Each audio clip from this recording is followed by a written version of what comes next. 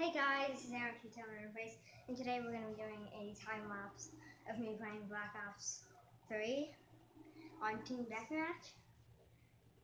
I have no idea what's in there. just tell Uh, and sorry, it's not zoomed in all the way, but we're using a different phone, so yeah. But make sure to like, comment, um, subscribe, share, all the good stuff, and enjoy. No, don't we have a great wall? Yes, but yeah, Okay, just enjoy.